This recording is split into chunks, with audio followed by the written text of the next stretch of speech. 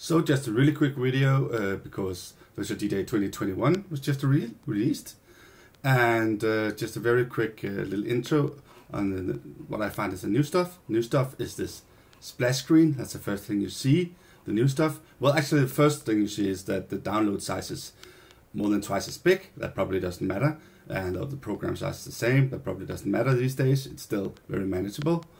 And then you see this and uh, this is a new thing where you can actually separate uh, the track into what will be stems if you do one of them, but other kinds of separations here based on uh, machine learning or AI. And uh, so it's pretty efficient. And of course, this is meant to be great for DJing, for, for mixing when DJing.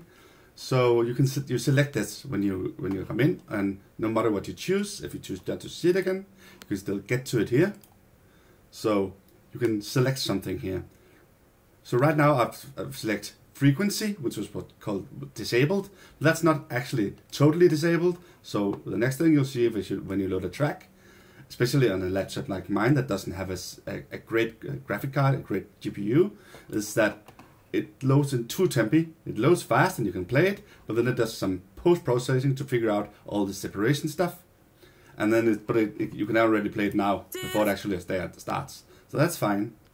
And then nothing is basically different. Apart from that, you can see this looks different up here uh, because it's showing other things. You can actually get back to the other ones down here if you want to.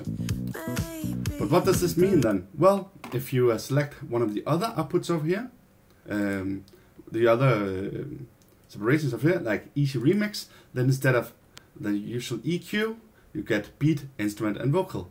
And now if I play, I can do something like this. Turn down the vocal.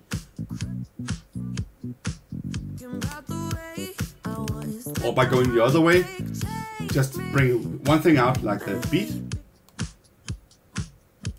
So that's of course great for, for mixing because it's so much easier to do mixes on busy tunes when have something like that. Same, we remove the instruments. So now we have vocals and we had a beat if there was something down there. bring it back down, back up or just slowly.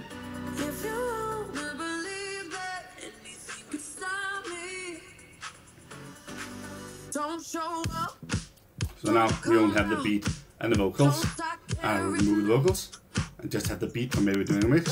Or just the vocals for maybe doing a mix. Like that. So that's just one of the options. I'm not actually going to be mixing anything in this short video.